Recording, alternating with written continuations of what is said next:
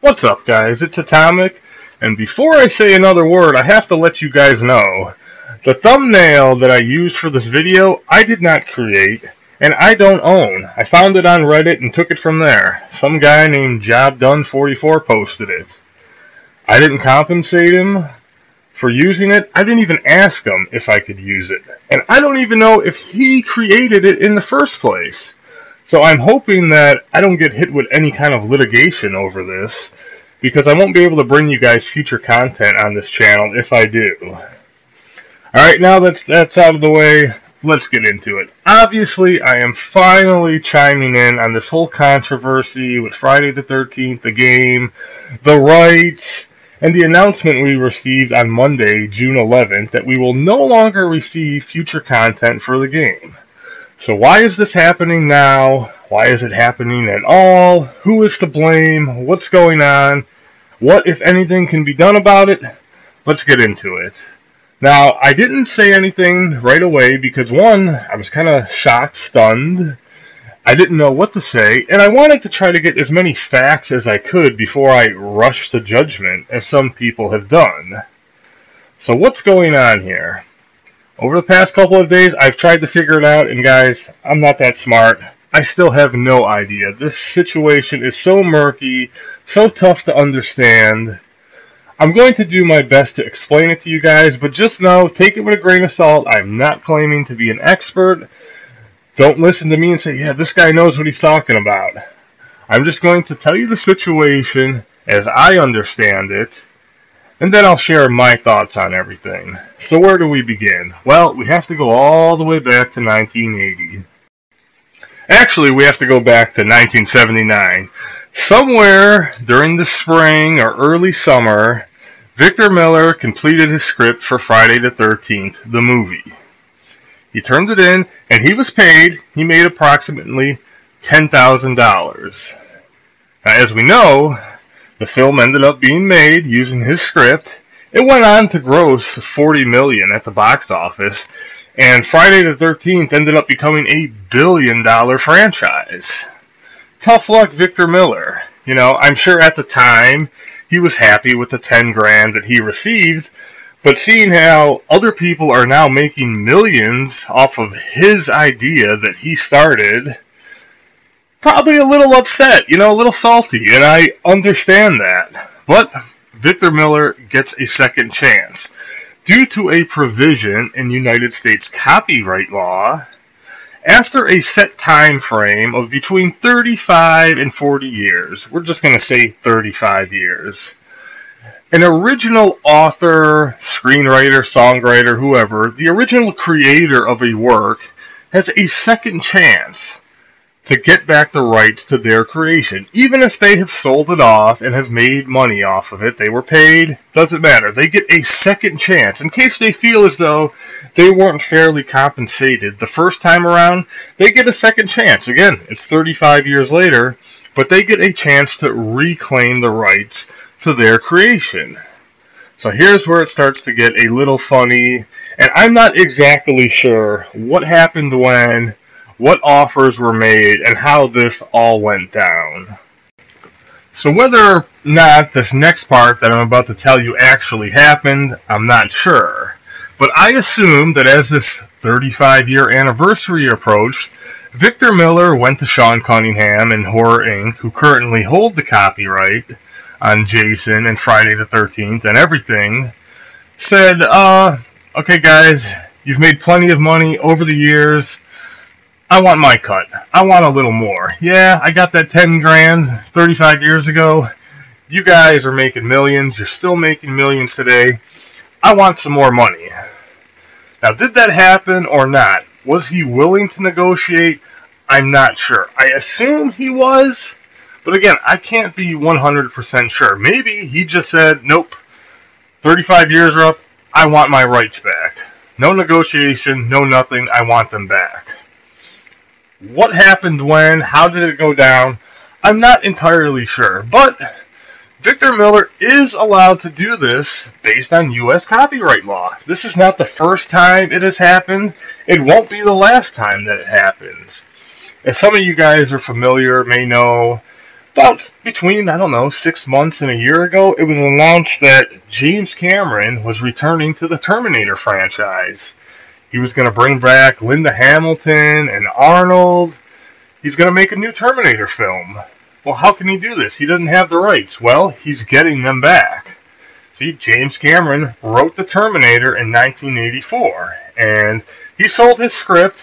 Allegedly, he sold it for a dollar because he wanted a special provision that said he could direct the film. But anyway, he sold his script, he gave up his rights. 35 years are coming up. 1984, it's going to be 2019 next year.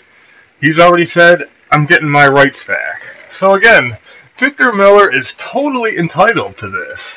Now, it is surprising that, you know, some deal could not have been worked out. There is enough money to go around for everyone. But again, how much does Victor Miller want and what does he want? We don't really know. Did he want a large lump sum of cash?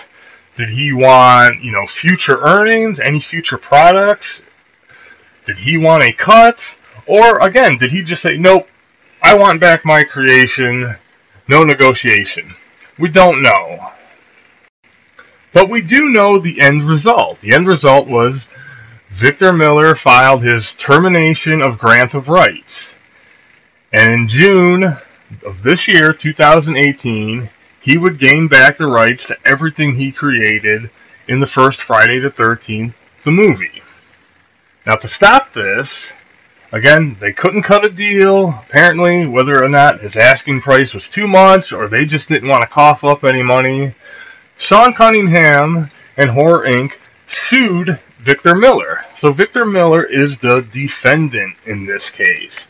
Okay, he is legally entitled to get back his creation. Horror Inc., Sean Cunningham, they want to stop this. So they sued him. Now, their lawsuit, here's where it gets even murkier. Alright, there is another provision in the copyright law that basically states look, if you are freelance, you know, if you write your own script, your own song, your own book, whatever, then you go on to sell it, yes, after 35 years, you can come back and claim it. You can claim back the rights, try to get a better deal. If you are already employed by someone then you can't get those rights back.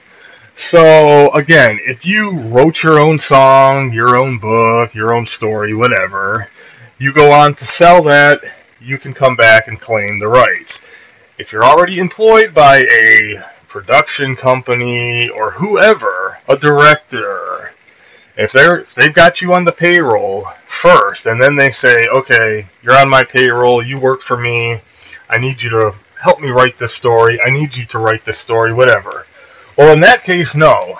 You can't claim the rights. The rights go to whatever company you were employed by. So that is the argument of Cunningham and Horror Inc. They're saying, nope, Victor Miller, he was our employee. He was employed by us. Therefore, we own the rights to everything that he created. So that's why it's at a standstill now. Now, recently, a document emerged which seemed to bolster Victor Miller's case. I don't know how or why or when, but it was kind of established that like June 4th was the day that Cunningham hired Victor Miller. For some reason, in what I have read, that June 4th date became quite important. Well, recently, memos were discovered that a version of the script written by Miller had been floating around in late May. So that would, you know, if they're saying, look, we hired this guy in June, we have documentation that he was our employee in June, well, that's all fine and well, but if there's other documentation that says uh, the script was already written prior to that, that would bolster Miller's claim that, look, I was, you know, essentially freelance. I wrote this on my own. I wasn't employed by anyone. Therefore, I get the rights back.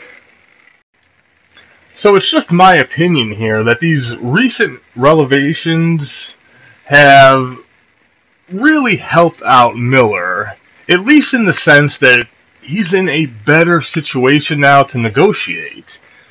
to get a better deal from Horror Inc. and Cunningham. Because even if Miller wins the case, he's not going to own a whole lot. What does he own? Well, everything he created that's in the first film. Now, what did he create? What didn't he? It's been established he didn't come up with the name Friday the 13th, so he wouldn't get that. He would get all of the characters in the first film. Well, the hockey mask wearing killer that we all love and, you know, maybe fear, he wasn't in the first film, so he wouldn't own that Jason. But he did create Jason's backstory. You know, this deformed kid that was picked on, neglected, and drowned in a lake. He created every other character, from Alice to Pamela. Did he come up with the name Voorhees? I know there's been some dispute on that. I'm just going to say, for the sake of argument, he did. He also created Camp Crystal Lake.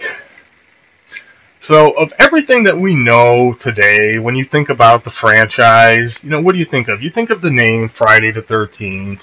You think of Jason and his hockey mask. Okay, Victor Miller doesn't get any of that. And as far as the game goes, well, again, that's not his. But Crystal Lake kind of is synonymous with Jason, and he would get that, and there are plenty of references to Crystal Lake, even one of the maps named Crystal Lake in the game. So he would get that. So if Miller wins and there's no deal reached, I mean, the franchise really could be fractured. And again, this only applies to the United States. So, you know, so many things could happen if Miller wins and there's no negotiation. I mean, if he wins, he could, in theory, make his he could sell the rights to what he has, or he could make his own film and call it, you know, Camp Crystal Lake or the Crystal Lake Murders, and you know, it could be its own thing. Meanwhile, someone else can still make a Friday the 13th film with some killer wearing a hockey mask called Jason and that would be its totally other thing. It just wouldn't have any references to Jason's backstory, probably not his mother either, and no Crystal Lake. But again, because it takes, you know, this is only in the United States, you could have something released in Europe that does reference Crystal Lake. So it's just so complicated and really so silly, because at the end of the day, there's plenty of money to go around. You know, it's us fans that are getting screwed. You know, we're the reason why this franchise is so popular. And who gets screwed? Us. You know, the millionaires continue to fight over millions, where there's plenty of money to go around, where we have made them rich, and now we're the ones getting screwed by all of this. So why is this affecting our game, and why is it affecting it now? Well, again, with Victor Miller and his termination of grant of rights, it applies to anything after June of 2018. He filed that termination, he gets everything that he created back. There are elements within the game that reference his work. Again, this doesn't affect anything in the past that was already created, but going towards the future, you know, it belongs to Victor Miller. And Gun Media, they didn't pay Victor Miller anything, so they can't use anything associated with his creation in the future. So obviously, Gun, I believe they're just playing it safe. Again, it looks like there's going to be no judgment in this case anytime soon. It also looks like Miller kind of does have a case, so I believe that they are just playing it safe.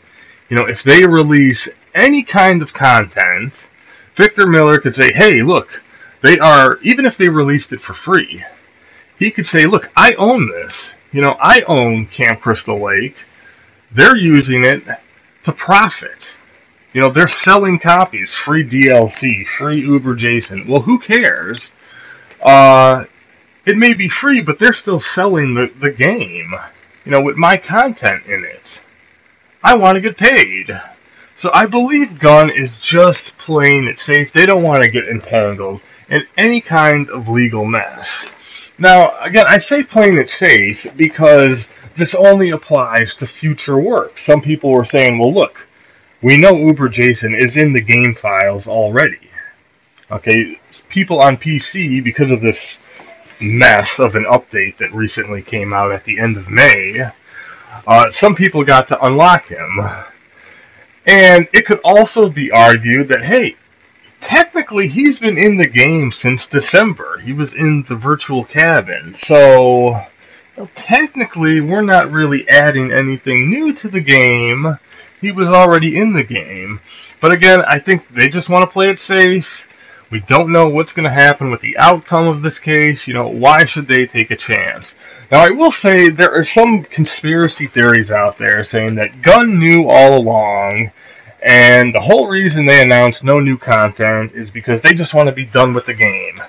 This latest update, you know, well, it didn't totally break the game. It turned the game into a complete mess. Now, in playing in the last couple days, it's gotten better, but it's still terrible. And some have said, nope, they're just abandoning it. The game is screwed. Screw everyone. I don't believe this. Now, should they have known this was coming? Yes. It was public knowledge that the grant of rights had been terminated. June 2018, nothing new can be added after that. Now, they probably didn't know. I didn't know. I mean, who knows about all this legal mumbo jumbo? You know, we just want to play a game. They just want to make a game. I assume they thought they were fine, and then, you know, someone said, oh, nope, guys, look, we thought this case would be over. It's not going to be. His termination is going to go through. You know, we filed this legal matter to try and stop it, but with no ruling, it's going to go through. Also, you have to know, based on what we know, we don't know what future content was coming. All we know was Uber Jason was supposed to be released, as well as the Grendel map. Outside of that, nothing else was really confirmed. We can assume there were some leaks. Maybe there was a pajama costume pack. You know, maybe there would have been kill packs for other Jasons. We don't know, but I believe, you know, Gun still planned on monetizing this. And we know that because of the leak of Uber Jason. You know, he had six kills. You know, I've seen him performing six different kills. So obviously, they were going to release him probably with his three standard kills, and then they were going to sell a kill pack. And again, they could have sold costume packs, other kill packs, and made more money. So I don't think they'd leave money on the table. You know, to just say, "Oh, the game's a mess." We're not going to bother fixing it, we're abandoning all this content.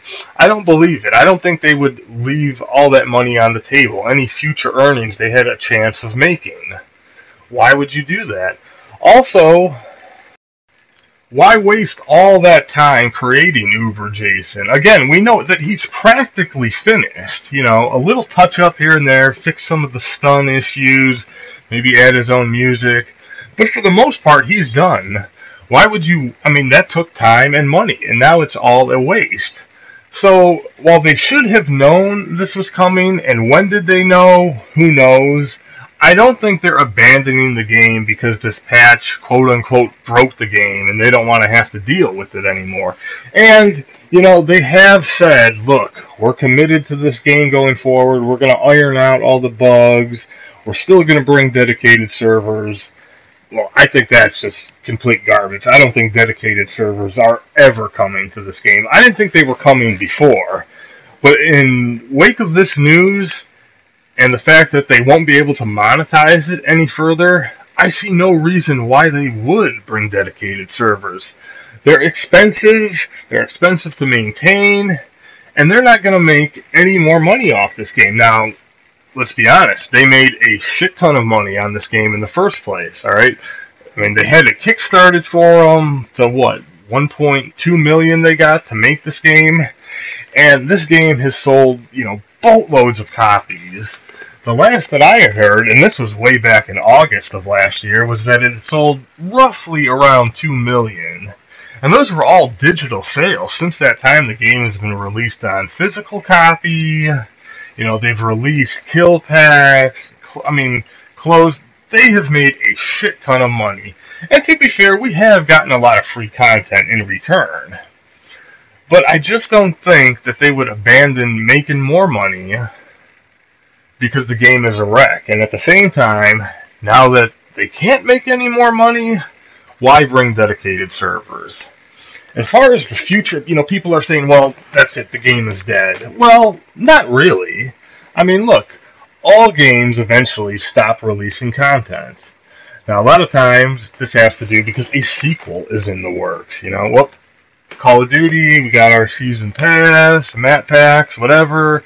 Now the next one's coming out, so no more. Same with games like Battlefield and you know, you name the franchise, you know, any sports franchise. Most games die because, well, another one is in the works. Here, you know, a little bit different. There's nothing in the future, no content, but the game isn't changing. And we're not missing out on a whole lot of content. Now, obviously, with no, you know, when they announce no more Jasons, no more maps, can't even get any more emotes. We all love our emotes, right? Yes, that will drive people away. They're going to say, well, this is it, this is the best it is, I'm not going to play anymore. But again, if everything can get ironed out, and if they can still, you know, do alterations to the game, it won't die. At least not right away. Yes, people may not be as interested as much, but you're still going to have plenty of people playing. The PlayStation 4, you know, player base is still solid. There are still a ton of people playing this game. So, no additional content. That's not what's killing this game.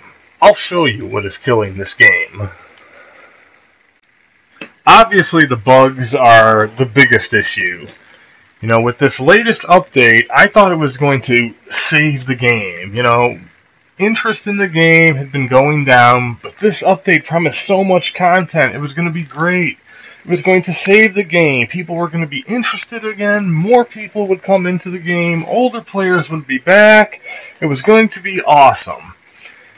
While I did love the content and I love the single player challenges, way too many bugs and glitches that make me think it wasn't tested at all, or it was tested on bots. And some people will defend this now and say, well, it's because of this uh, lawsuit coming, they had to get it out. Bullshit. Okay, any kind of time frame doesn't mean you get excused for releasing something in the state that this was released in. It just doesn't. And from you know rainbow blood to more rubber banding to the jittery counselors it was just a complete mess. Now the next update that we got that was supposed to fix everything well it fixed a couple things. It brought on more issues just a nightmare why do i want to keep playing this whole buggy mess and again for just you know me personally having to get used to a new grab you know, I didn't like it. I've been playing for a year already. Why do I have to deal with this now? Was it really necessary? But another big issue for me personally is Jason, you know, being turned into kind of a pussy, you know, a punching bag for the counselors. And this has been going on since August of last year. When the game first released, you know, I mained AJ as a counselor. I wanted to be as stealthy as possible, hide, didn't want anything to do with Jason.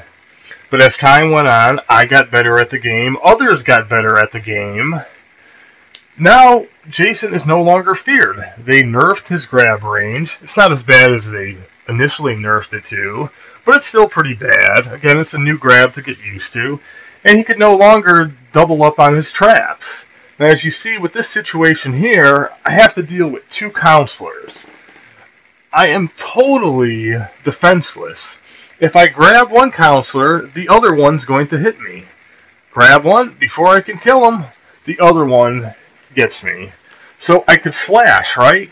Well, the problem with slashing in this game is you as Jason can be stunned, but the counselors can't. Again, here, grab, nothing I could do. So I could slash someone once, as I go to slash them again, they swing right through it, they stun me. One of the changes that I was hoping for in this game was that there would be some kind of a counselor stun when you slash them as Jason. I mean, I'm fucking Jason Voorhees. These guys should be on the run. But no, they want to attack me, and again, there's not much I can do. They're, they're loaded up with med sprays and thick skin. Grab them, the other guy hits me. Slash, they'll swing right through it, spray up to heal themselves. I was going to make this whole video about changes I wanted to see in the game. You know, things that I thought could help the game. From things like this, adding some kind of a stun to counselors to, you know, deter them. As counselors, they shouldn't be coming after me. They should be running. But no. Here we go. They want to kill me. Again, that's what the game has really turned into. People just attacking Jason. And look, I understand it's fun. I do it all the time. But that's not how, at least I believe, the game should work. Another issue is just, well, what you're about to see. This makes me want to quit more than anything. In this situation here, oh, I, you know, morphed out, morphed to the wrong place, just great. They're going to call the cops. I'm not having fun as Jason. I'm struggling. This isn't fun what happens? What do you think is going to happen here? Can you take a guess? You know what's going to happen? Time's up. Well, I make it to the phone in time. I stop them from calling the cops. All is good. And I don't have to worry about who I kill, right? Because the salt mines were added to the games. Remember that?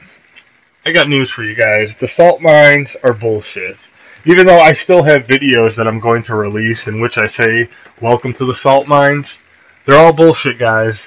The new Jason selection process, it's bullshit. I've played enough now to realize it's all bullshit. Okay, and even with the salt mines, even if they were real, which they're not, they're not deterring anyone from quitting. And I kind of don't blame people either. Another big change I wanted to see in this game was giving people something to do after they die. You know, maybe I will still make that video, but whether it's spectating Jason, whether it's giving you a chance to customize your character while you wait, give people something to do after they're dead. Because here, I've killed the host, and what happens? The host says, fuck it, I'm out of here. And again, I kind of understand. So guys, the game is not dead, but it needs help. So I think that's all I'm going to say for now on this issue, guys. I hope you're more informed and less confused than you were when you started listening and watching to this video, because to be honest, I kind of am more confused. but that's just the way it is. Again, I don't understand all these rights issues. Know, we were told Uber Jason was the last Jason we were going to get. Why? Well, they didn't own the rights to Jason from Freddy vs. Jason. Well, why not? It's Jason. They didn't own the rights to remake Jason. Again, why not? Who does? How much would it cost to get them? And for the life of me, I really couldn't figure out why were we getting Uber Jason but not Jason X. It's the same, you know, pre-Uber Jason. It's the same freaking movie. Why can't we get uh, Jason X? Who knows? Someone does. Obviously not me. But who knows? That may be another reason why we're not getting any additional content. If you remember, Uber Jason was uh, one of the stretch goals in the Kickstarter, and it was never met. Now, obviously, they went on to make a buttload of money, and he was going to come to the game, but who knows?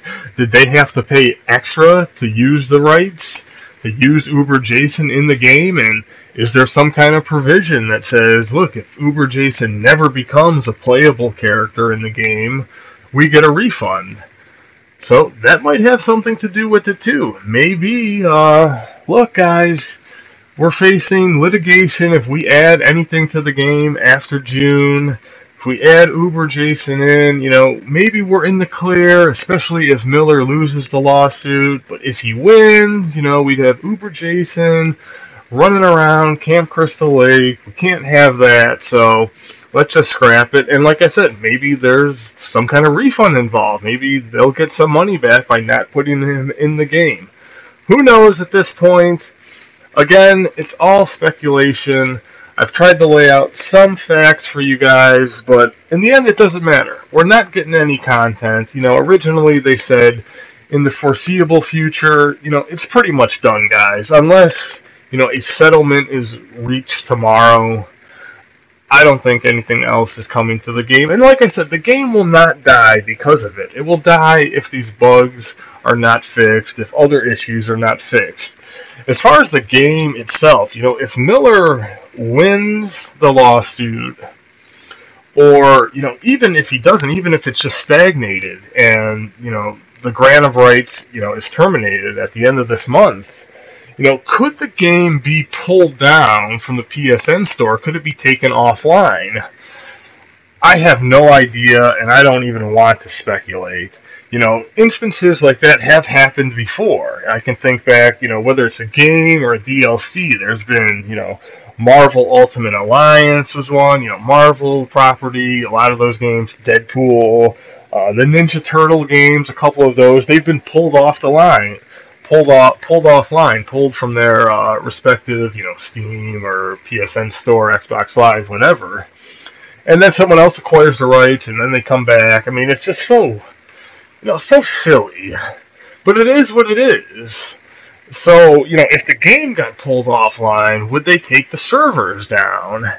You know, I could see, you know, the argument coming from Gun. Like I said, well, we're ready for dedicated servers, but, you know, financially now, we're just not going to be able to do it, so no dedicated servers.